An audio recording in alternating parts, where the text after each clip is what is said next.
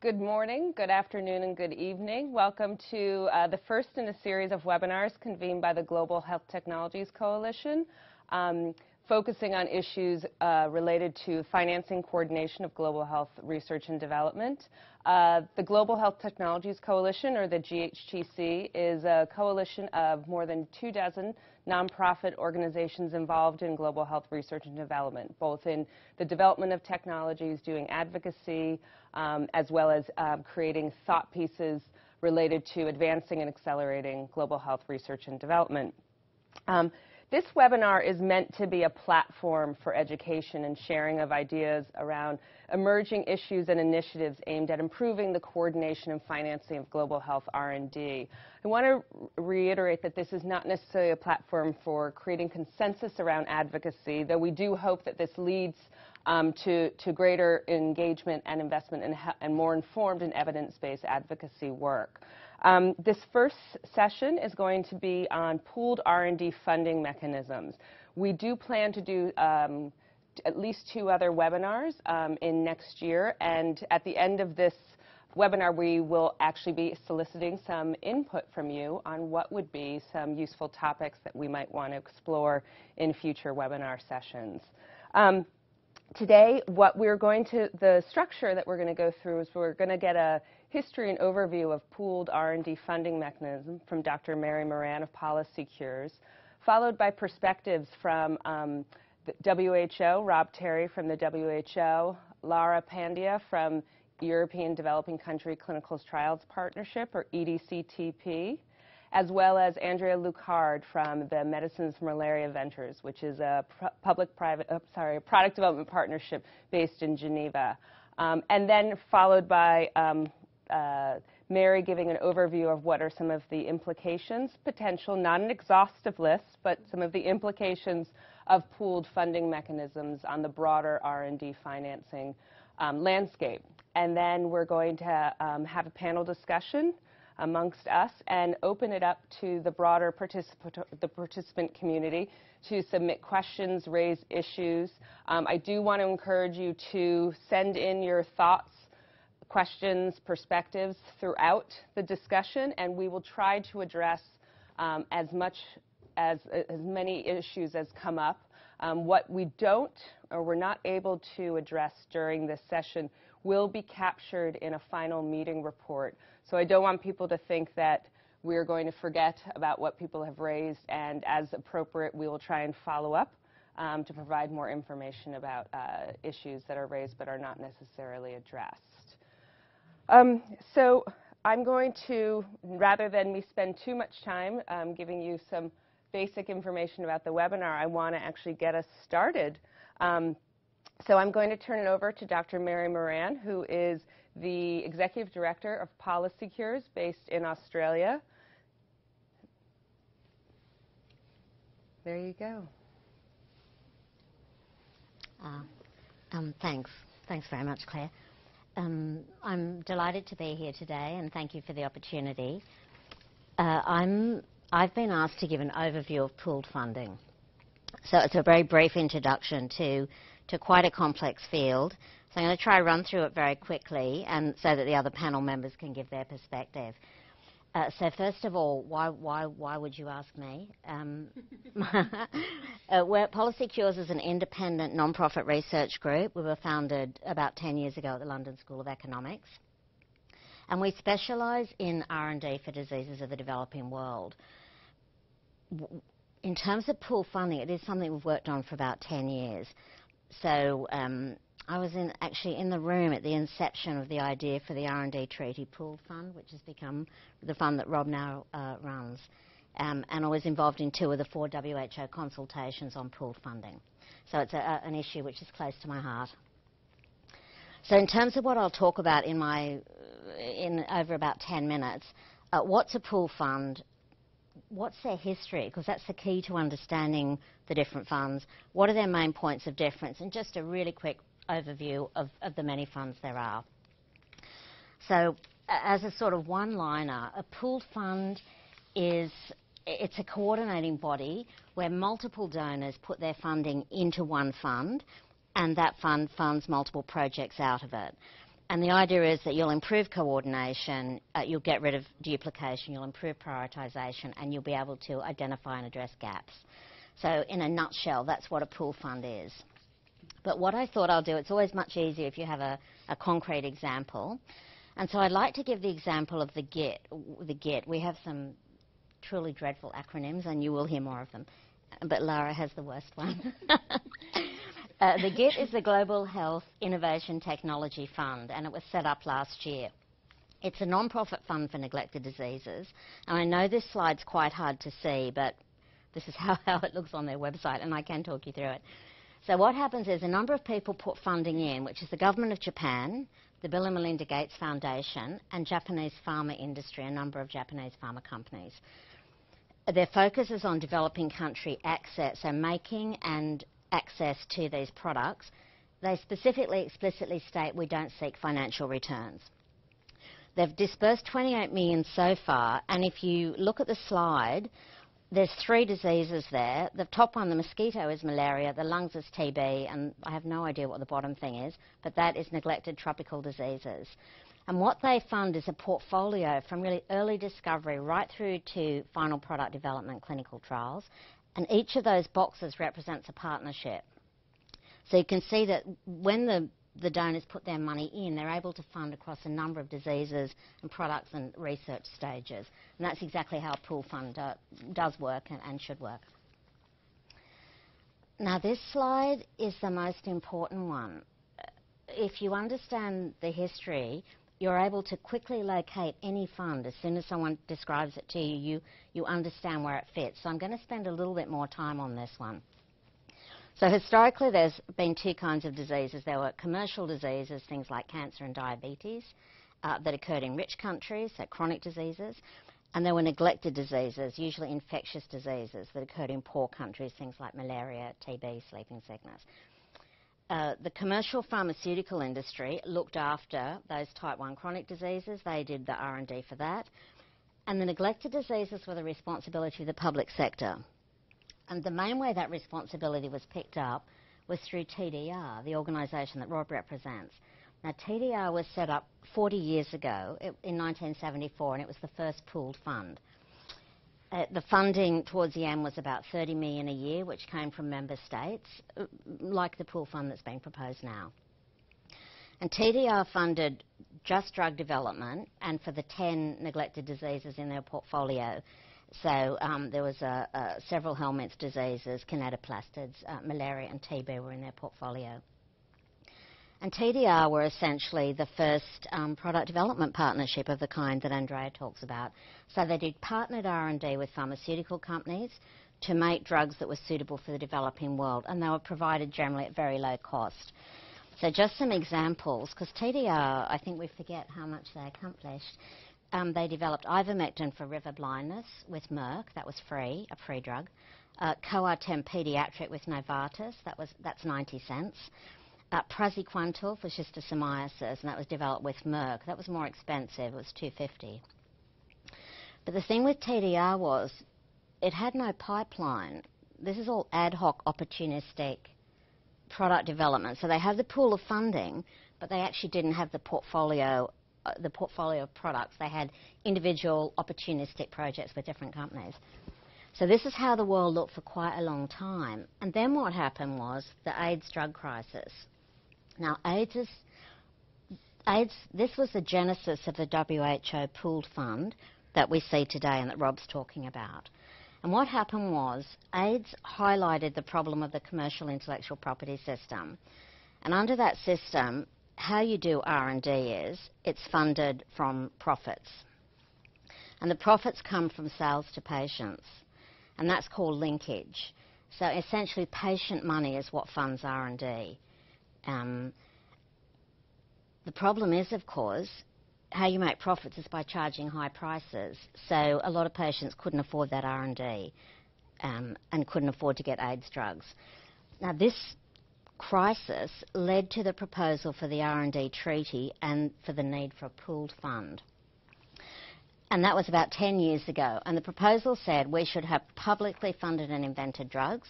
They should be sold to patients at cost price. How we'll do it is each country will give a percentage of their GDP and put it into the pool fund. And a key feature will be that it will be completely delinked. We'll delink R&D funding from sales to patients. We'll get rid of intellectual property and patents. We'll try and make this open source. So the primary goal of this fund, of this proposal, was actually delinkage.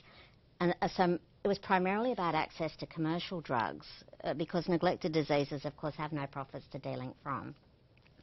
But the reason I have a plus is that the proposal was the fund would naturally also include the, the existing neglected disease work of the kind that TDR was doing. So holding this in your mind, uh, this idea is aimed at getting R&D for commercial drugs in a different way through getting rid of intellectual property and also funding neglected diseases.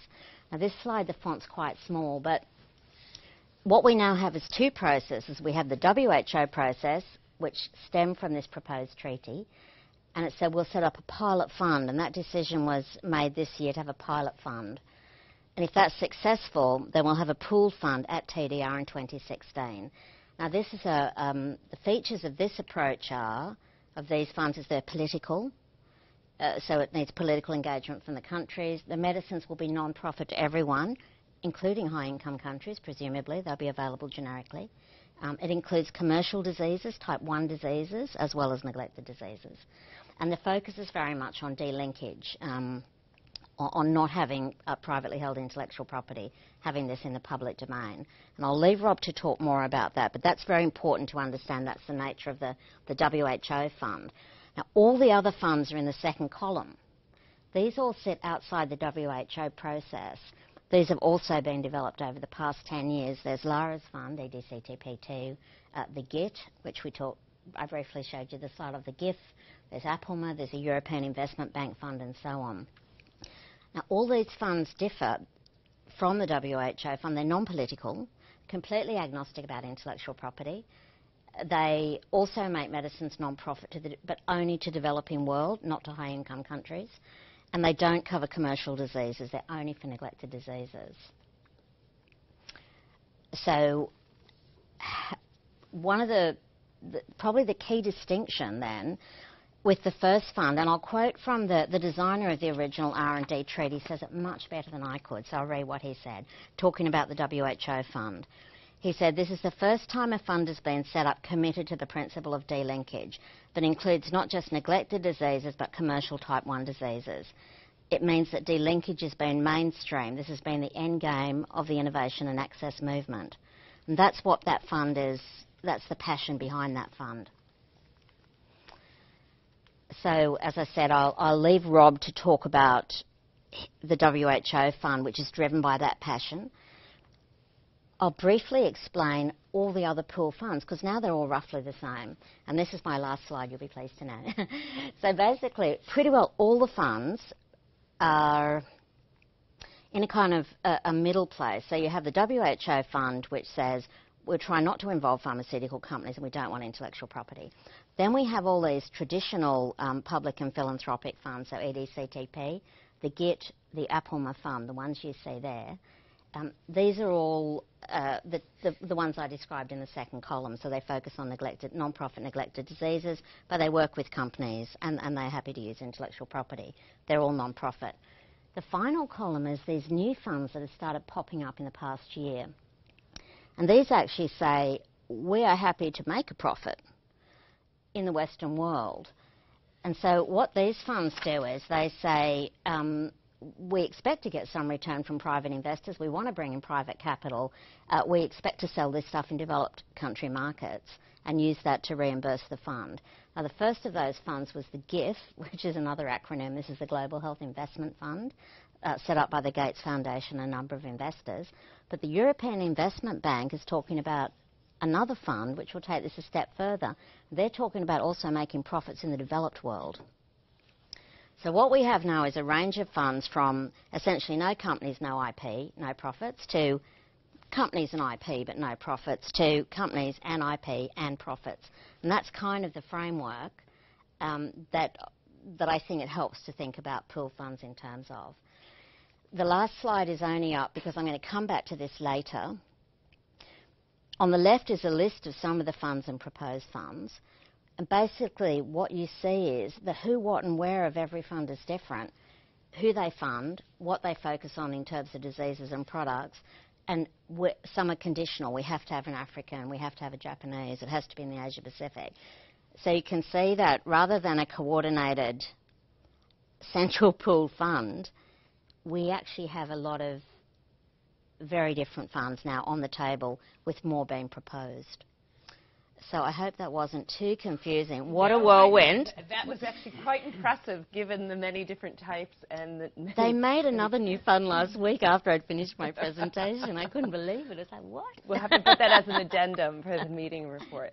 Thanks so much, Mary. Not at all. Thank you. Um, now I'm going to turn it over to Rob Terry from TDR, the WHO Special Program on Research and Training for Neglected Tropical Diseases, um, to talk about the TDR pooled fund that Mary was alluding to. Yes, thank you. Okay. So, uh, yeah, just we've already heard it. I mean, TDR, uh, it's its 40th year of operation right now, and uh, in actual fact, what some of the, the PDPs that exist that were uh, sort of incubated out, uh, out of TDR. So, in a sense, we uh, no longer have product development as a sort of key function, but we're still very interested in, in shaping the agenda and putting forward uh, these ideas about how do we actually innovate in the process of doing R&D itself. I think that's, uh, yeah, that's one of the, the things that I'm sort of most interested in. Um, the, the fund that I'm talking about now was a, a, the outcome of a very long negotiation, actually, um, started through the World Health Assembly of WHO uh, over sort of 10, 10, 12 years or more. And in actual fact, this isn't the, the, the R&D treaty which a lot of people were pushing for, because in the end there was very little support for a negotiated settlement. And so the intention was to actually try to move forward on the areas where there were agreement and to move forward with a voluntary system. So we, we kind of have a voluntary system now, uh, and that's what the, this diagram uh, that I, I, hope you can see uh, um, will, will show. And in a sense, this takes forward a lot of the ideas that Mary sort of put forward in her summary about what are the sort of strengths and the advantages of, of pooled funding. You know, why, why bother to do something in, in a pooled way? So essentially, if we start in the, in the top right, right-hand corner, and this is the proposal. This hasn't been uh, fully approved yet, but this is where we've got to in our thinking. And so I think it's very important today with this webinar to hear how people react and, and how this uh, how this is uh, responded to by, by people who have an interest. But member states essentially, and it is the member states, so the, the countries which are part of WHO would be responsible for putting funds into a joint enterprise, into a pooled fund. Uh, but that doesn't necessarily exclude other donors. I mean, obviously, uh, you know, we have uh, some very active and, and, and large uh, philanthropic organizations out there. But I think if there a mechanism could be found uh, for industry to do this without altering the objectives, then I think we, it's something that's definitely worth exploring. The interesting thing, I think, within the, the, arrangement that we're looking at here is if we go to a pooled fund, is that it not only funds R&D projects, and those projects, as Mary has already said, would be very much uh, around the, the principles that came out of the, the sort of negotiations of this uh, of, of, the sort of impact of intellectual property on R&D. And so it's around um, innovation in research. It's around assuring affordability of the final product and accessibility um, is, is right up front in the selection. But this fund would also support a process for, se for selecting priorities. Uh, and uh, this is called a, an R&D observatory, which in some way would be able to monitor uh, who is funding what, where, and how uh, globally. It's, it's actually, uh, as we've heard, there's a sort of fragmented approach to, to pooled funding, but in global health generally now, there are thousands and thousands of actors. And in actual fact, trying to get this, this general picture about who's funding what, where, and how is very, very difficult. Once we have those priorities uh, assessed, then TDR, using uh, the, the, experience that it's had over many years of, of supporting R&D, uh, would take that and develop uh, calls for proposals. Again, all of this would be in a sort of open and transparent way, uh, and that would be reported back through the World Health Assembly. Uh, there's obviously a lot more detail behind it, but essentially um, that's really what, what the thinking would be. And, and what are the, the, sort of advantages to that? Well, I think, first of all, it's the first attempt uh, at a globally negotiated R&D fund, and I think that's really important. Uh, and I think, again, it would be agreeing what are the global targets. What, what, you know, often we talk about the neglected diseases, but in actual fact, there are many different definitions and many different targets. And I don't think uh, actually one of the things that the public sector has been very good at is clearly articulating what are those priorities. So that would be very important. I think the new mechanism here, which is as we've been receiving pledges from countries, so particularly the traditional donor countries, is that they're saying we will be, we will be prepared to put money into this fund, but we will have a certain portion of that funding itself, which will be leveraged if there is a donation from a low or middle income country. And to a certain extent, one of the, the hopes is that we would, by doing that, expand the, the, the pool of donations into this fund. We, we had a, there was the release of the GFinder report yesterday, uh, and it's quite clear, really, that uh, the sort of the global sort of envelope for funding, while it changes year on year, is broadly staying around about the same, plus or minus three. Uh, 3 billion. So if we're going to expand that fund, then we really need to be able to access uh, and, and, see if we can actually mobilize uh, resources from the low and middle income countries, the emerging economies. I think the, the advantages of pooled funding, what are the advantages? Well, I think it is around shared risk, because essentially research is about risk. It's about covering uh, failure. The majority of the research that's undertaken actually results in, in things that don't work. And so we need to cover those costs, and, and that's, a, that's a, a, a difficult thing. But pooled funding allows for shared success. So even if uh, the contributions into a fund might be at very, very different levels, what this could allow is that countries, particularly say the disease endemic countries, which may not have a huge contribution to make financially as a volume to the global debate, by, by putting their money into a pooled fund, can share in that success and can access these other sources of funding that we're talking about. Um, I think on a sort of process level, uh, pooled funding uh, should make the transaction costs less. So the, the process of, nego of, negotiating, working with a, a pooled fund which may have 10 or 20 different donors into it, you only actually have to deal with one of them when you're working. And I'm sure MMV would agree that to, to reduce the amount of reporting is one of the ways that we may well be able to reduce some of the, costs of producing these products. Um, and I think the, strength that TDR brings in, a governance arrangement here is that it has a very strong representation from the disease endemic countries themselves. And I think that's really important when we're talking uh, about setting priorities and working on those priorities. Um, I think there will remain I'm not, many, many challenges, and probably the biggest challenge in operating in this way is bringing together the political and the technical agenda. Uh, all of us can make the moral case and can make the scientific case, and that's very, very uh, necessary. But I think until we start making the political case as to why this is of value, then it's going to be much, much harder to actually sort of see a, a real sea change. Um, Obviously, no pooled fund is going to be big enough. I think so. The size and the sustainability of this fund, I think, is going to be a real challenge. But we'll see uh, how that works. I've been quite surprised about the, the pledges that we've received already. But we do have to be realistic about timescales and we do have to be realistic about impact. This is only, at the end of the day, going to be one strand in a whole range of, of tools that we need uh, if we're going to sort of move forward with uh, the sort of sustainable funding uh, for R&D in this area. Great. Thank you so much. That I mean, this is great to hear an update on, this pooled fund. There was a lot of excitement when this got announced, but really a, lack of understanding about what it is. So I encourage um, our participants to send in questions for Rob to quiz him some more. I've already got some down for our discussion. Um, I'm going to turn it over to Lara Pandya from EDCTP, also known as the European Developing Country, Developing Country Trials Partnership, um, to talk to us about the EDCTP model of pooled funding mechanisms. Thank you. Uh, so thank you again for the opportunity to participate in this webinar. Um, so actually, um, we've been around for a while now. Since 2003, we were established. We were established as a co-decision um, of the European Parliament and the Council as an Article 185 initiative from the European Union Treaty. Um, for those of you that don't know, the background to this was largely in response to um, the Millennium Development Goals and the challenges being posed by the three main poverty-related diseases, HIV, AIDS, malaria and tuberculosis. And um, the idea was really largely to promote an integrated approach to health research um, among European countries um, through the coordination of participating states' national programs. Um, so I think EDCTP is quite unique in the sense that it's um, a multi-country, multi-stakeholder pooled funding mechanism and that the idea is actually with a focus between a partnership between Europe and Africa.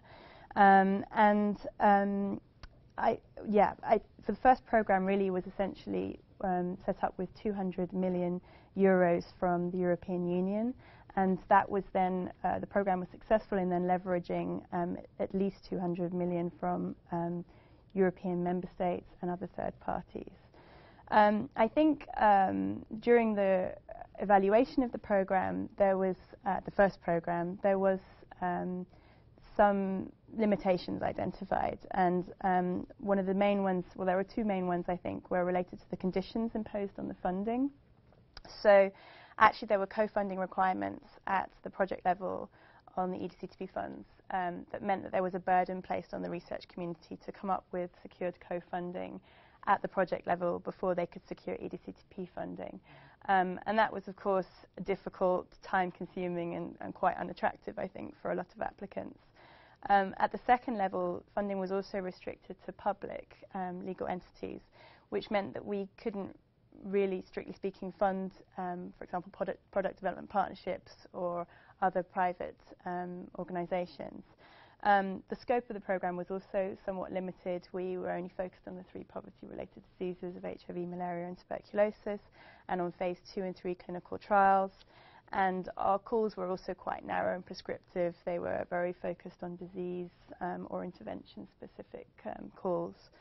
Um, and I think probably one of the, also a major limitation was the legal structure of the organisation, which meant that although we were a partnership between Africa and Europe, we weren't actually really a partnership because many African countries, or no African countries, could really be members of the organ of the partnership.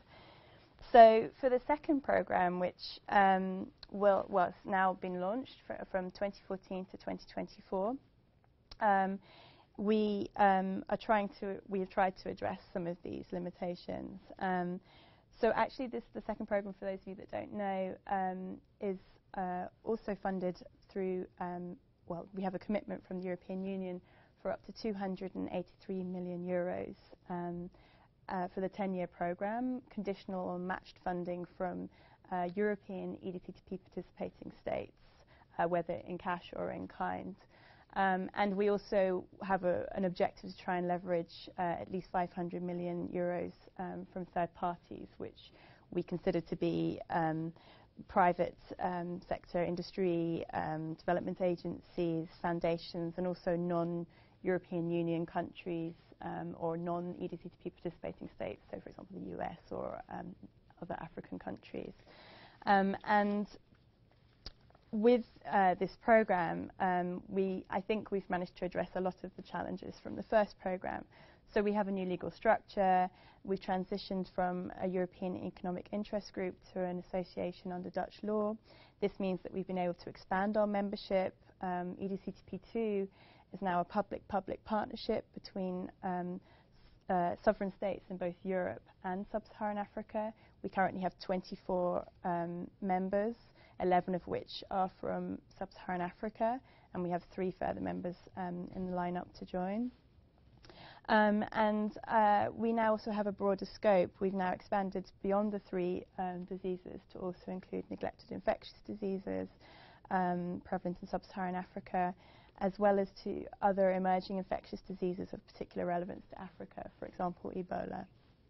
And um, in terms of the, the trials that we support, we've expanded to phase one right through to phase four clinical trials, um, as well as health services optimization research. Um, so with um, the budget, which 683 million, that's over three times the budget from the first program, the magnitude of the program is, has increased. This also means that we can be more ambitious, we can support larger, um, more impactful projects, for example, phase three clinical trials. Um, and we will also work with a very transparent operational process. We will have annual work plans um, with upfront commitments that have to be approved by the European Commission and the EDCTP General Assembly. And our calls will also be much broader, less prescriptive, uh, bottom-up open calls that allow the research community to really dictate what the needs are. Um, in terms of the co-funding, that also will be addressed. So we will now, um, for the majority of our calls, we will fund 100% um, plus 25% um, indirect costs. So at the project level, there won't be um, a burden on applicants to secure co-funding. Um, and but despite that, we at the EDCTP Secretariat will, of course, still strongly advocate for co-funding at the programmatic level from um, from European Union member states, from third parties, and so on, from African now African member states too. Um, and uh, probably also very important to notice that the private sector participation has also now been addressed. And uh, in the second programme, any legal entity, whether public or private, can participate in, in EDCTP projects. And if they're located in um, European Union, Union um, member states or in Horizon 2020 associated countries um, or sub-Saharan Africa, they will also be eligible to receive funding. So in probably my last couple of minutes, I just wanted to highlight um, a couple of advantages that I see from pooled funding mechanisms from EDCTP's perspective. Um, I think from our side that we feel that um, this pooled funding mechanism is a, is a means of ensuring better coordination, alignment, collaboration of national um, programs, and that means also that the cost effectiveness of European and African investments is, is yeah, made is improved. Um, we also hope that through this mechanism we can extend international cooperation um, in and between um, with public and private um, partners um, to maximise impact and ensure synergies are identified and also to leverage funding from, as Rob said, from both European and also um, African countries. We also feel, or at least I feel, that as a common, a common pot mechanism really means that you have um, a large pot of money, which means for us EDCTP2, we have a much larger pot. We can support larger multi-center trials um, that are beyond the resources of a single agency. So by pooling funds, it means that you can fund a lot more with your money, and that I think means that there's an optimal use of resources. Um, and I think it's very important to note for EDCTP the fact that we will have upfront commitments. So by having a dedicated pot of funding, it means that the funds are there, they're available, and they can be independently allocated according to the needs as and when they're identified. Um, and that means that we can also be more rapid and, and flexible in responding to the, to the needs. I won't repeat Rob's point. I think that's a valid, valid point that by having a pooled funding mechanism, you also reduce the administrative burden for funders, but also for applicants. There's one common point. Um, you can also try and ensure practices are standardized, and, and that reduces a lot of inefficiencies. But um, my last couple of points, just um, to highlight, I think there are ongoing challenges. Um, I think for EDCTP, for us to be able to achieve all those, those advantages that I see for a pooled funding mechanism, you also need to um, ensure that the contributions are unrestricted cash contributions that, that enable you to, to have flexibility in the way that you run the, the, the mechanism. And, you know, unlike development aid, which is, um, is much more easily spent internationally, traditionally research funds tend to be much more restricted. Um, they have, tend to be tied to national researchers or have to particular research goals. Um, and I think it's important for us to be able to be efficient to have unrestricted cash co-funding.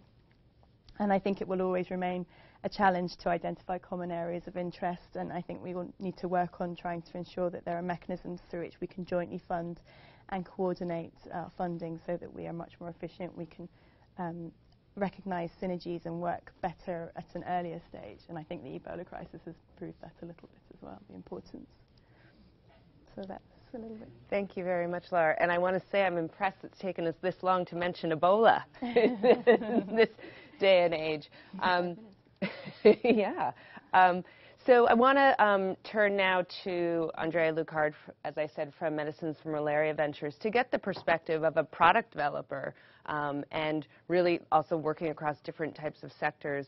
What has been, you know, what are your thoughts? What's the interaction for MMV? Um, uh, researching but also engaging with uh, and considering pooled funding mechanisms to advance your agenda. Thank you. Um, I would. Uh, I wish that I could actually speak to you, the audience, directly, and find out how many of you are actual product development partnerships or people who are seeking pooled funding, um, so that I could direct my comments as, as effectively as possible not, not given that opportunity, I'm going to um, really try to take the perspective of being both a pooled fund ourselves, since we actually make uh, contributions to research that from that come from multiple donors, and also as a recipient of um, of pooled funding from almost all of, or at least being engaged with almost all of the funds that um, that Mary um, has mentioned. To give a little bit of sense of um, MMV, we're a product development partnership that's been in existence for 15 years. We have five products that have been um, uh, pre-qualified at this point, including Coartem dispersible, um, and most recently um, two new um, uh, interventions that have been pre-qualified by the WHO. Um, and so we really do have experience of what it means to, to be using the money to, to to, uh, to fund research, but also to, to get our research funded. Um, and our experience has been mixed um, with this, with, with pooled funds. Um, if I speak um, mostly, first of all, about why you would search for funding from pooled funds, um, the first and most obvious one is that there's money there, and our organizations require funding to keep products being developed. There's absolutely no question. Um, and therefore, um, particularly in with large funds, um, the amount of work and effort required to seek that funding is very, very important. Um, another reason that you would really want to seek pooled funding um, is to bring in new partners. Um, Mary mentioned the the GHIT fund or the GIT fund, depending on how the uh, Global Health Innovation Technologies Fund out of Japan. This has been very important to us um, in recent years. Uh, they just started uh, 18 months ago or something like that, yeah, um, very, very recently. And the reason that they've been so important um, to us has been actually outside of the funding itself specifically, but because they have a mandate to make sure that Japanese partners are engaged. Now, this is not at all unusual for any one of these funds where you need African partners engaged or you have a particular need to get at something that is beyond just whether or not products are going to be developed. This is the, the, our mandate is make sure the products are developed. The mandate of the pooled funds is to make sure products are developed and something else in some other way. Um, and in the case of the, uh, the GHIT fund, what's been so critical for us has been, in fact, not only that we need to have Japanese partners, but they have helped us facilitate bringing those partnerships on board. There's been pressure on multiple sides to make sure that the partnerships uh, are engaged. Japanese uh, pharma is, is very, very sophisticated, but it's been difficult for the product development partnerships to, to actually develop many of those partnerships. And so far, it's been extremely successful. Um, that's an example of a pooled fund that has really brought um, tremendous value to us.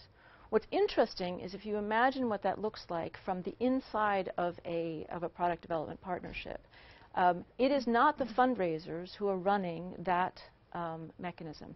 It is the scientists. It's the scientists themselves who have to make the decision as to whether or not these kinds of partnerships are possible. Is there technology that exists within those Japanese companies that's useful for us? The companies themselves have to decide if there's something that's useful. So while we're used to thinking about funding as receiving funds, restricted or unrestricted, but essentially receiving funds and allocating it as needed, um, that tends to be a sort of technical fundraising um, aspect. This requires a much more um, coordinated and sophisticated operations within uh, a, a, product development partnership. Um, what becomes interesting is if you imagine that you divide up many of these product, um, these pooled funds, um, you start talking about dividing up your portfolio itself into very many places. So we start saying, does this have an African partner? Okay, then we can start thinking about EDCTP. Are we talking about intellectual property? That might be the CEWG process. Can we bring in a Japanese partner? In that case. And what happens within the organization is the, the pool expands tremendously, but so do the demands on the organization, the technical demands and the scientific demands, the partnership demands. Now, if you're an organization like MMV or many of the other product development partnerships um, who have been around for a while and who have fairly robust processes, fairly sophisticated legal departments, business development partnerships, uh, partners, um, and within the within the organization, um, it's not such a daunting task. I will say that if I were a new product development partnership and I were trying to imagine whether or not we could actually engage in one of these pooled funds, I wouldn't recommend it, at initially at, at least, unless you really have a very clear ability to understand how your portfolio fits into these additional needs of the, of the pooled fund. Um, and so, th so th th those, that balance is something that we continue to uh, struggle with would be too strong a word, but we continue to negotiate within our organization. And as these funds proliferate, um, they become the questions become more and more complex around it. Um, what I would also say is that that one of the concerns that we have as a product development partnership is that the bilateral funding that we have been receiving over time um, is our core and most important funding. Um, and to the degree that any of our bilateral funders might turn in some direction and say, uh, we no longer wish to give bilateral funding in this, in this way because we're going to be doing it in a pooled fund, that could be devastating for us. And I won't say it will be, I don't know, um, but it could be because this, um, the relationships that, that we have um, are, are very, are currently quite straight, relatively straightforward.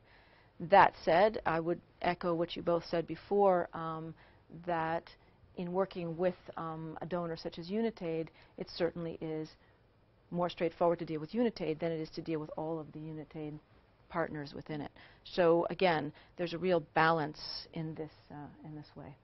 And I'll leave it to other questions from there. And I think, I think your last point particularly is, is one that I certainly know in my questions, if not in Mary's uh, follow-up, will, will come up, that idea of bilateral aid and, and the multilateral. So, Mary, I'm going to turn it to you for just uh, some final thoughts on, sure. on what may be some of the implications um, of pooled funding and recognizing you are not giving it an exhaustive list. This is really something to yeah. get us to think about this and, and to stimulate some discussion. Um, yeah. So, and I, and I, think I can be briefer too because you guys have covered uh, quite a lot of this. So, of course, as we said, the aim of pool funds was to improve coordination um, and to get rid of duplication. But I think the funds have had real pros and cons, as Andrea said, and the key one she pointed out, new money, we'd all agree on. So I don't think it's a question of do we think they're a good idea? We do. The question is how they should be designed. And I, I think that's something we need to discuss. Uh, the second step, they are one step up in terms of coordination because um, instead of all independent donors, you do have some groups of donors who now get together.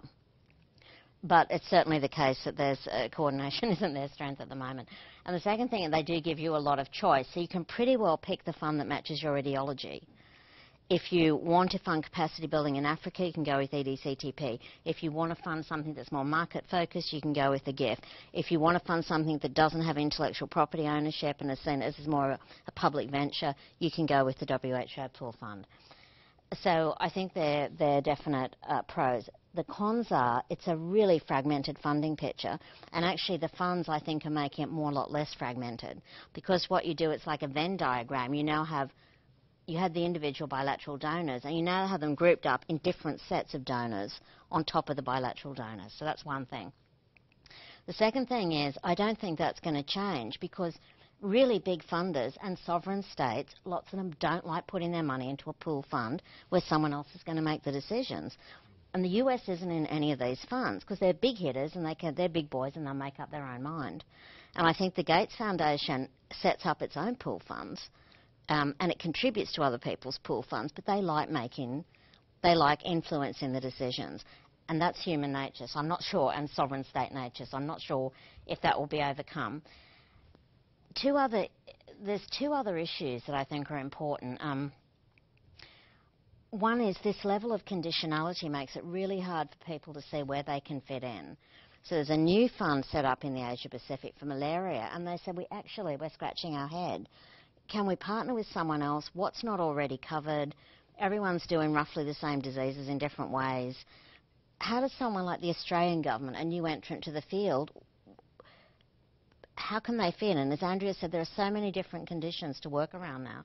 And finally, and this is something that's not really been tabled before, most of these lack a pipeline approach they use calls for proposals. And everyone goes, oh, that's fantastic. We've got investigators will tell us what they want. But investigators want to research their own area. That's the truth. They don't go out and say, I've reviewed all the global needs in the world. These are the gaps. It's not my area, but I think this is what you should do. So I actually think funds need to be strategic. I think having a fund with hundreds of millions of dollars, which will be driven by uh, calls or investigator interest, might not be the best way to go. I think there does need to be some priority setting, ideally from WHO, to say these are the most important gaps, these are the ones that kill the most people, these are the ones to do first. And now comes a slide which, these are the things I'd really love to hear the audience um, input on. So these are, I think these are implications that we, we need to air and give more of a talk about there's a number of products like vector control product, products that fall outside the scope of any of these funds.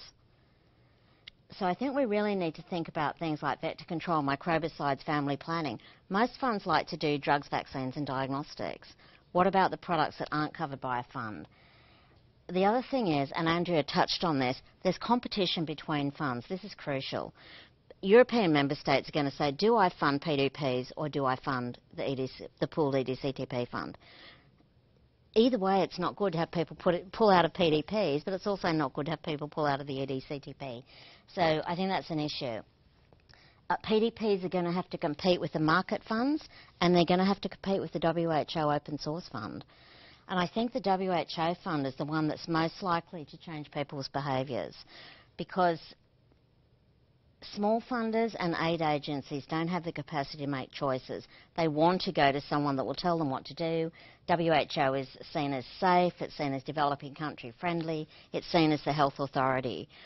Now, what people people probably don't think about it, but then they go in with a fund that says um, we require open source. It's likely to favour public projects over projects with industry partners, and that's partly its goal. Um, so you'll start to get, I think, a change in the type of R&D that we're doing depending where people put funds. So there is a risk, I think, that small government funders and new government funders will say, I'll go with the WHO with its IP conditionality rather than with PDPs who work with companies and IP um, because it's easier. The other issue is that low-funded funds tend to do certain kinds of work. They favour diagnostic work and low-hanging fruit because they're cheaper. So if you have funds with not very much money, like the pool, the pool fund projects that, that are in WHO now, are all very low cost, quick win projects because the money's limited. So you're not getting the R&D you need, uh, the R&D you need, you're getting the R&D that matches the size of your fund. And again, I think that's an issue.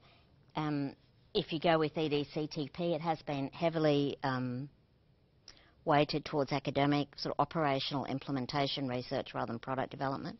I know that's something that they're aiming to change, but if most of the funding goes to EDCTP, we're going to get a lot of operational implementation, capacity building, probably less product development.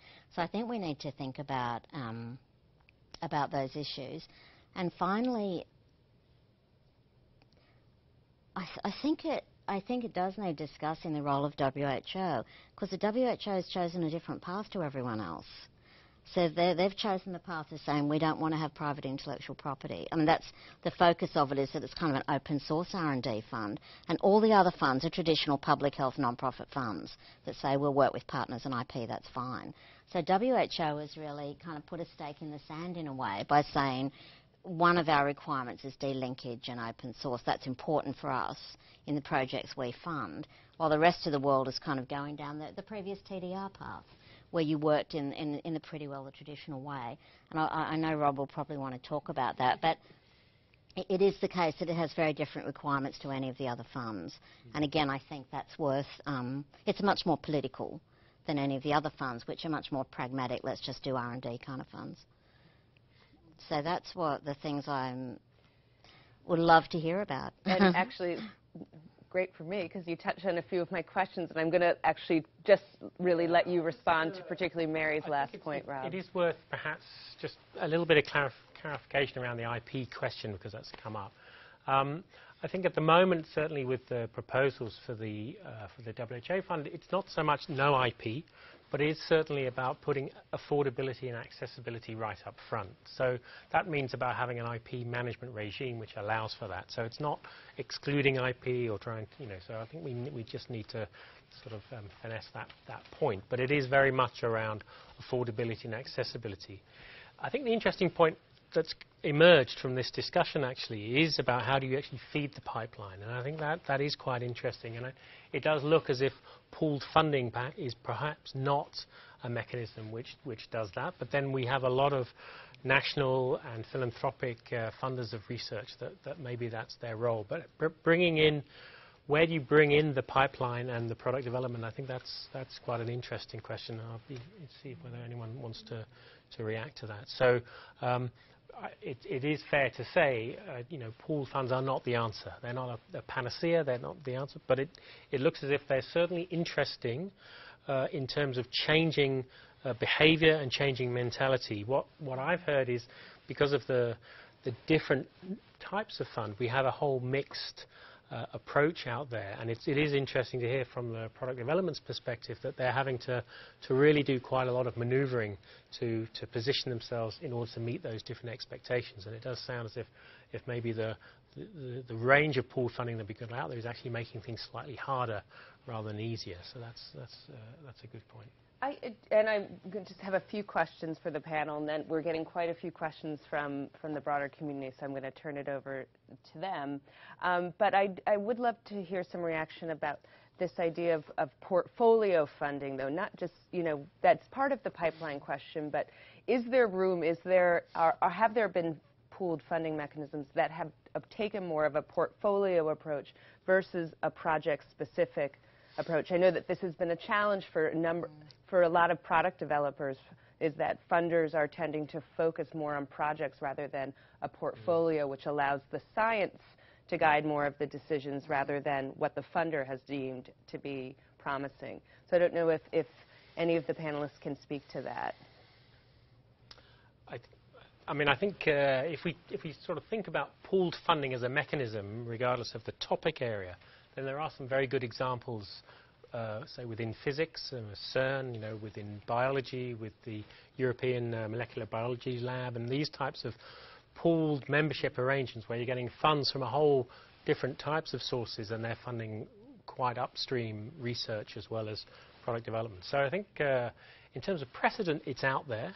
I think within health, perhaps not so much. And so, yeah, it, it, it's interesting. There's nothing that would exclude pooled funding from doing that. I think the fundamental question which, which has been raised a couple of times is this, this need for attribution and this, this need for, for uh, almost sort of ego-driven funding where uh, organizations need to have that credit, you know, they need to have the credit uh, for their re research. And of course pooled funding pools that attribution. And I, you know, so it seems as if that's a, almost a, a cultural barrier that we're going to have to get over if we're going to you know, maximize the, the efficiency of this approach.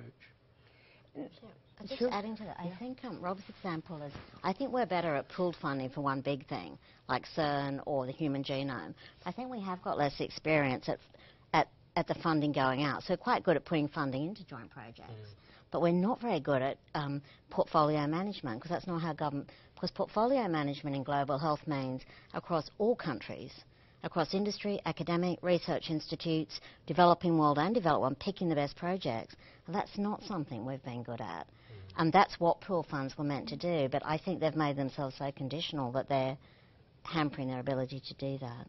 in this place, what I would say is that this is really important. This, this remains a very, very important role for the product development partnerships. That is, all of us maintain mm. portfolios. Now, whether or not there's some uh, greater force up above that says it's more important to, to fund leishmaniasis or tuberculosis or whatever than it is. But as long as the product development partnerships remain healthy, there's actually multiple healthy uh, um, port, uh, pipelines.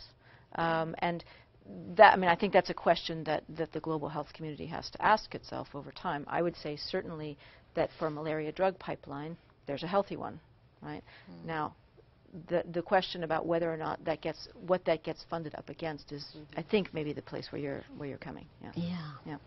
And, and Lara, a question for you. I mean, all of these changes that um, EDCTP2 has made, I'm very curious from an advocacy perspective, what had to change politically to make, you know, to make those commitments? Some of them are pretty significant and substantial and do require a lot more of the the European Commission and of member states. So, mm. so what do you think was a driver for that, other than it being sort of a moral need that that mm. um, uh, Rob talked about before? Well, I think there was a very much um, a recognition that EDCTP, although it had quite a small budget in the first program, that it had managed to leverage funding, that it had demonstrated that its ability to, to successfully work as a, as a pooled funding mechanism. But I think on a political level, yeah, there, as I mentioned earlier, there wasn't really the true partnership between Africa and Europe, and I think um, the sense of um, that it was work, unfinished work, that there was still a lot more that the, that the mechanism could achieve. And, um, and so by, by supporting a second program, by making these, uh, these changes so that African members could really be partners, um, I think that really sends a political message as well um, to allow, I mean, it came up yesterday, I think, in the discussions as well about the importance of trying to, um, to get, for example, the BRIC company, countries also more involved to take ownership on um, yeah, on the, the, the research and, and to commit to, to supporting that. And you know, for example, now that we have uh, South Africa on our on our mem- as part of a member of, of um, EDCTP, you know, we can also now encourage them and other African countries to to make more contributions. We can we can track also their spending through some of the mechanisms we're using. We're, part of our work plan is to, to track what we're calling participating state-initiated activities and these are this is a sort of uh, a means for us to, to track in-kind contributions to the program. And so South Africa, as one of our participating states, we will be working with them to try and identify activities, um, not only in-kind contributions, but to also generate more cash contributions to the program. So I think there's a political will in that sense, and, and we've really seen also at our launch event last week that there's, there's strong political will from the African countries to really be mm. partners in this partnership now and, and, let's not forget, of course, the EU of at course, a higher level yeah. is a, a pooled fund, a massive pooled fund. Yeah, I mean, and they've been significant drivers of the programme as well. I mean, yeah. of course, it's had to go through huge hurdles through the Parliament, yeah. through the Council, and there has been the political will throughout to, to see it through. So, mm. So I'm, I'm now going to turn it over to our to our online um, participants. Uh, and this sort of keep, continues with, with political, what needs to happen politically. What, so what needs to happen to get countries like the U.S., so I think they mean really the U.S., on board with a pooled fund, fund for health R&D? You know, Mary, you talked about the fact that the U.S. hasn't been engaged in any of them. You know, is there, do you see there being any type that could be developed? You know, the U.S. is the world's largest pool fund. That's the real story. So if you look at um, government funding, the US puts in about 70% of government funding in the world. So what that, and 10 times more than the next funder, which is the EC. So they're putting about 1.2 billion a year. And NIH is the main source of that, and across NIH, they they know what they're doing, and it's kind of coordinated-ish. so I suppose they say, we're a gigantic elephant. You're all little mice. Why would we coordinate with you? Maybe you should coordinate with us. I'm not sure it would be easy to get the US involved. I don't know if others feel differently, but they have the capacity to make their own decisions, and why should they? What's their motive? What would there be incentive? I, I can say from a Global Health Technologies Coalition perspective, there is a move to try and actually increase, at the very least, coordination across the U.S. agencies trying to do funding. So they're at least talking to each other to yeah. maybe I don't know that I would not call it a pooled but fund. Claire, that is a, that what you said is exactly the thing. People want it. You can increase coordination without pooling, because mm. how you coordinate is you agree. It's like a, it's like shopping for a wedding list. Someone says these are all the things I need, and you can go and pick the one that suits you best. It's not a bad idea. Rather than saying everyone has to put all their money in and buy one big present altogether because you'll all just fight. So in a way, you could look at coordination. You can get coordination without pooling. You can get coordination by agreeing common goals and letting people pick them and providing information on what everyone's doing. So you can go, oh, well, I'll do that bit then. So I, to, I would really love to see more information and less actual physical pooling. Can I say that? Yeah. add on that comment just because I think also um, because you, you, you had this um, illustration of you know the different quite fragmented you you illustrating in a way that uh, the mm. pooled funding mechanisms are quite fragmented. But I think also another way of looking at it is also that the pooled funding mechanisms can also coordinate, and, and we're already starting to do that now. In yeah. EDCTP2, for example, with WHO TDR, we have a joint call that we've now launched. Mm. And so we're trying to coordinate, although we focus on different things, we're also trying to coordinate uh, the way that we fund things. So we have our, our call on, on um, clinical research and development fellowships, and, and, and you know, TDR focuses on, on what they focus on, and we focus on, on our, you know, Africa and, and the, the diseases that we focus on. So I think there's a way for doing that more in the future as well. It doesn't necessarily have to be seen as fragmentation. Mm.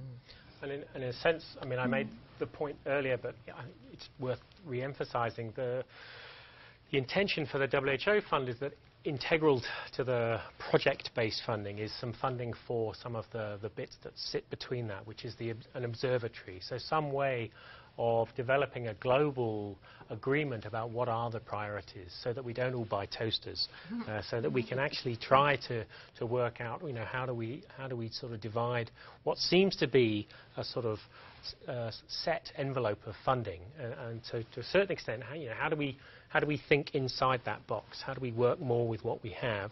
Uh, always trying to think about how we can expand it, but I mean really being much, much better at coordinating. And so that, that core funding that, uh, that is so important for every organisation. You know, because project-based funding is really quite difficult to deal with if you then have to, you know, you have to do your planning and your all of the other bits that, that sit in between uh, all of that. So, as I would say, one of the things which I, I hope uh, from um, you know the, the, WHO fund is, is that we will actually be able to, to start to develop a, a global picture so an example, you know, I was talking to uh, at a group uh, under the, the, World Intellectual Property Organization a few uh, weeks ago, and uh, one of the things that they were saying is that we don't seem to have a, a sort of compendium or a go-to place that actually will give us a target product profile for every need that's out there. There isn't something that really gives us, you know, everybody something that we, we're all looking at. They exist either in the, the, the, portfolios of the PDPs or in different research papers that have been published or maybe within the Gates' own strategy, but nothing that you can actually take in one place and look at it and, and start to see this global picture. And I think if we can you know, with the, the, different funding mechanisms on the one side, in the same way that IP was always talked about as being the big problem, funds are always talked about as being the problem. One of the, the, the simplest things, actually, but seems to be the hardest to get to is just what is what are the problems and how do we how do we agree on what those are. And if we can get a little bit better with that type of information, then uh, then perhaps we can uh, move forward. Because to me, coordination is an outcome. It's it's really really hard to to sort of enforce coordination. I think coordination tends to happen when there's an agreement on where we're going, and then people tend to move towards it. Um, you know, everybody loves coordination, but nobody wants to be coordinated. Rob, we've had a few questions, which I think you've, you've answered in that, but one um, about uh, the, the pilot fund TDRs. what does it mean to leverage low and middle income countries from a practical standpoint? Well, at the moment we're getting uh, pledges from, from member states, from our member states, um, and what they're saying is they will give a certain amount to the fund. Um, uh, but then there's an additional amount that they will give. But what they're saying is they will match the funding that they receive from a low or middle income country classified by the World Bank classifications. So to a certain extent what they're saying is, and that's leverage, it's basically for every $2 or $1 you get from uh, a low income country, this donor country will match it with, with funding of their own. And we've got a couple of donor countries that are making that type of pledge right now. And I think that's really interesting. I'm not I don't know whether that's actually going to start to unlock uh, unlock the doors. But I was talking to DNDi yesterday, and they were saying, yeah, they're getting some interest from uh, not a national funder, but a, a, a, a non-government funder uh, within um, a, sort of low middle income country, but they only have a small donation to give.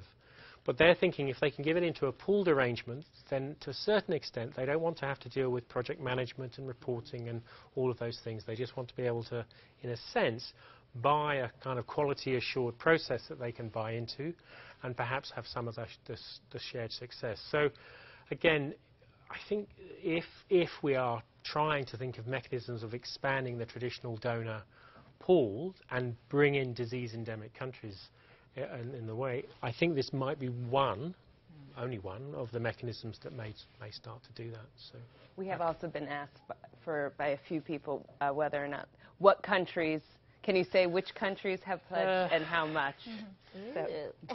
uh, I, at this stage, it's probably best not to, uh, not because it's just, uh, as with many things in WHO, it's always a little bit unclear when public becomes public. I, yeah. I suspect by uh, we have an executive board meeting in January of uh, 2015, and uh, it's far, far better for the countries to speak speak for themselves uh, on this issue. Can you give us an idea of the, the size of the funding budget? Uh, well, at the moment we have we're around about 10 million, so it's still very small in terms of global uh, global health needs. but I think if I can be uh, just speak amongst ourselves. Um, uh, it's quite often, and yeah, and the whole internet. Uh, it's quite often with a certainly with a WHO resolution. The resolution is to a certain extent the easy bit, and the funds often come sometimes many years after. This is, uh, I think, one of the few occasions where the funds and the resolution are actually uh, overlapping somewhat. So that's that's encouraging, um, and uh, you know I can only sort of, you know, we always have to speak, the glass is I wouldn't say half full, but it's starting to fill, so that's something to be to be positive about. And you know, for many other resolutions, you know, it took many many years for for the resources to flow. But what I, what I can say is that there is no lack of will and interest uh, amongst the the people that are sort of you know working in this area. There really is a passion to try to see uh, what can be done within the political constraints that everybody's operating under, within the multiple uh, array of uh, priorities that people are having to, to operate with. Um, but I think we're doing a, a, pretty good job of, of moving things forward. The, the phrase, you know, delinkage, um, MSF came up with it perhaps sort of 10 years ago, and it was highly controversial to even talk about it. Now it's, yeah, you know, everybody sort of, it's sort of almost common parlance. Everybody more or less understands what we're talking about, you know, separating the R&D costs from the, the costs and the accessibility of the product. And that's become a sort of accepted uh, and sometimes misused concept. But so um, always, I think when we're operating at these kind of global levels, we have to sort of think in um, in longer timescales. You know, things are shifting. But if we look back, you know, even if we look back sort of 10, 15 years ago, you know, the PDPs were just a glimmer uh, in a few people's eyes, and now, you know, we have uh, many PDPs. Some might say more than we need, but we have many, many of them, and uh, you know, they are beginning to show a real, real difference. So, yeah. I, would like to actually um, uh, point out something important for the PDPs in this, which is that one of the reasons that um, we have more than 20 products that have come from the PDPs is that we have been small and nimble and able to move quickly. One of the real downsides of coordination is what, what ends up being the slowness of the, the need to coordinate many different people, agendas, countries, time zones, all of those things. Most of us, I think, spend most of our days, in fact, coordinating such things, right? Mm-hmm. Um, and so while coordination is something indeed that we generally want to agree on, what we could lose in this process of coordinating is exactly what we have gained by being small and nimble and being able to move quickly. And this is really, it, this would be a real loss. It would be a real loss even with a very large pool of funds. So uh, I don't have an answer for it, only a caution That's something that could take Yeah. 10 years and another 10 years and another. Meanwhile, we're losing time and we have people who are Yeah. dying. Actually, can I point another strength of PDPs that I'd, I'd really like to point out? Actually, and of the the, re, the public research system is it's been delinked for decades, so it's never funded. None of this research is funded from from getting profits out of patients. It's funded by public funding and philanthropy, and the products are made available at very low prices. Um, so I think that's the other strength of the system that it did delinkage. It, that's how it was built, and that's uh, for decades. So it has never funded its work through uh, charging patients high prices. It funds it through this $3.2 billion of public and philanthropic money, and that's why we can get affordable products. So I think that's another real strength of PDPs that they've sort of piloted this before it became common parlance, as Rob said, which I think is wonderful, um, and, and that they've been so responsive. And that's uh, putting big portfolios together relatively quickly. I mean, the number of PDPs have put out if you look at all the new drugs and vaccines developed, PDs, PDPs have developed 70% of them since 2000. So they've put out over 20 products. It's, it's, it's pretty amazing. in very, very small and efficient organizations, right? So we're actually Yeah. talking about um, so the, these these small organizations that are able to have a very specific expertise that can fail products quickly, that can manage things very quickly is is a it's in fact in some ways the fragmentation or the very s- the very specific nature of the PDPs which has allowed for this kind of uh, quick movement.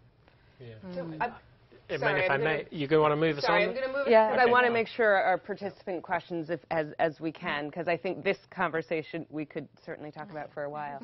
um, but one thing that came up too was um, has there been pooled funding dedicated to technology transfer? And I'm going to add capacity strengthening. Um, that's such a critical part of.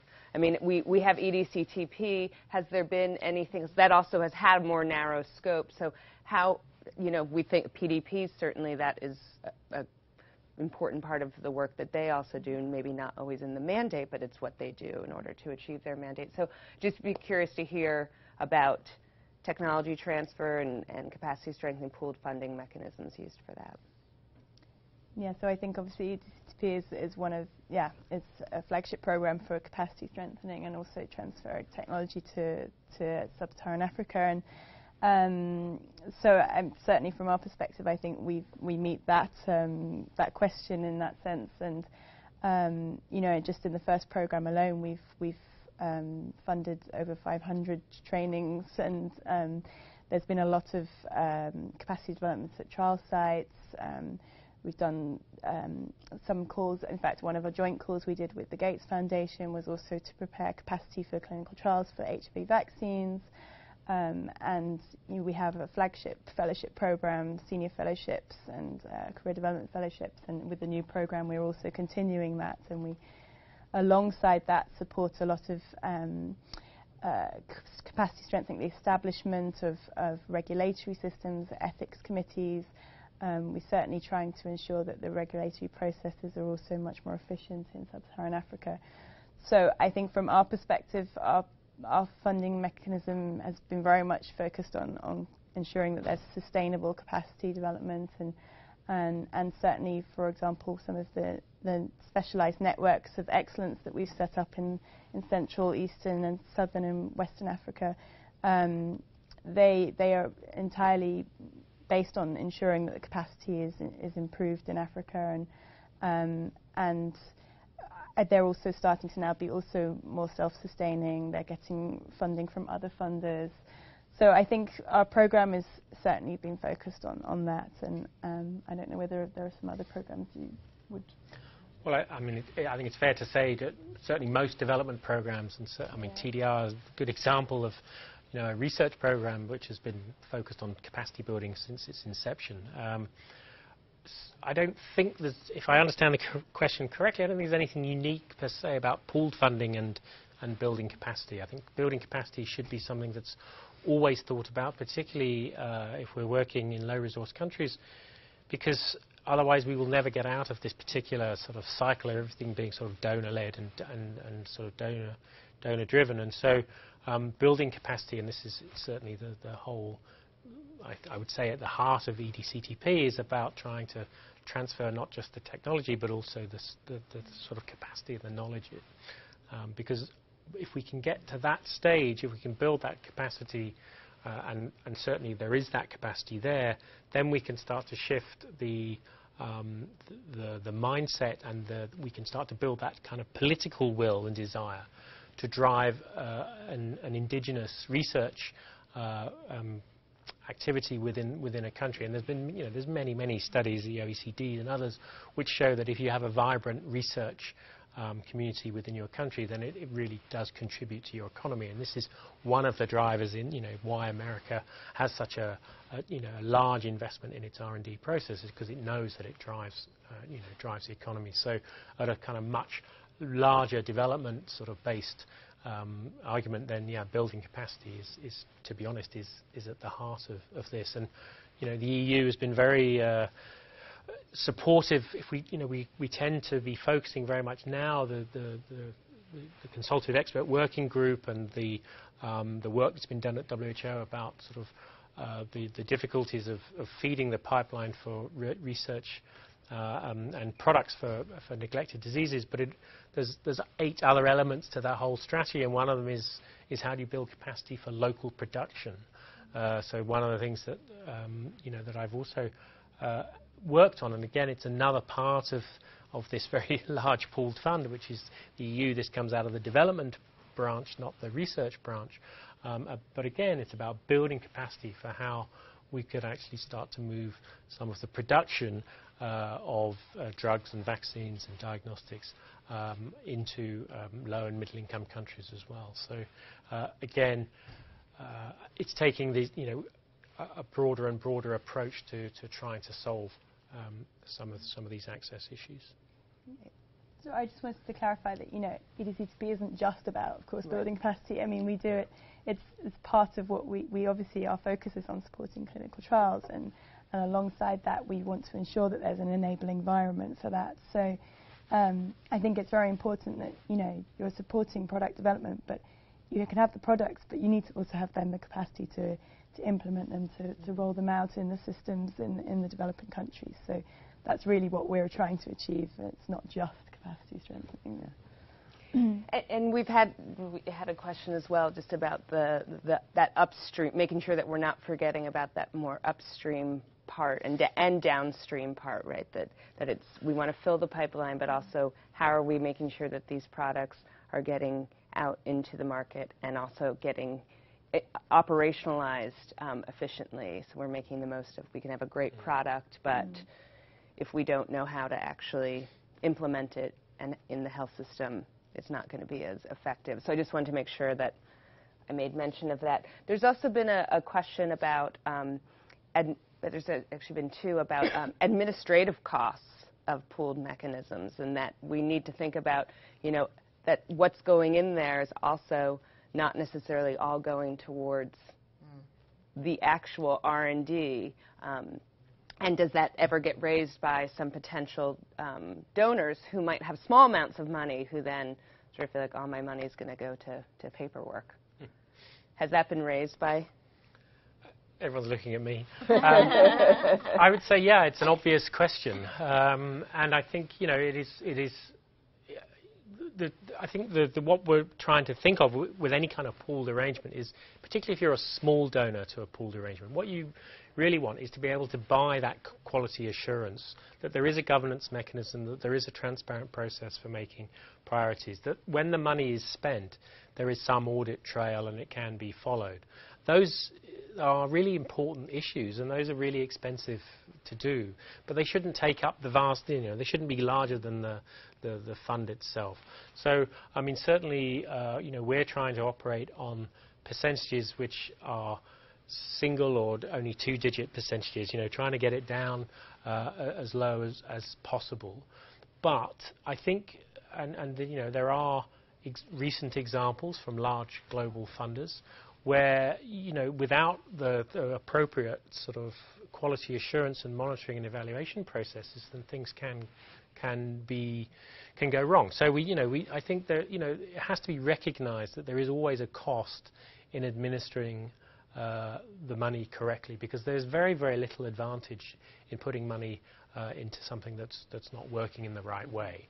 Um, so yeah, it's, it's a question that's uh, always raised, and I think it's something that needs to be raised, and something we have to work very, very hard at, uh, at sort of keeping to the, to the minimum, but not at the, cost of actually reducing the quality of what we're trying to do. We, we've also had um, some questions about what Andrea, what you raised, and Mary, you touched on too, was this idea of the impact of pooled mechanisms on existing funding, mm. um, on some of that bilateral aid. And it's, it's just some people asking if you can speak a bit more about that. What, how is, had, you know, thinking about historically with pooled funding mechanisms, how has that been reconciled? Um, and in thinking moving forward, you know, from a product developer standpoint, how do you actually talk with your donors, with your funders about about that, recognizing the importance of mechanisms like EDCTP to your broader mission. No, you start. First? Yeah, you go first. Okay.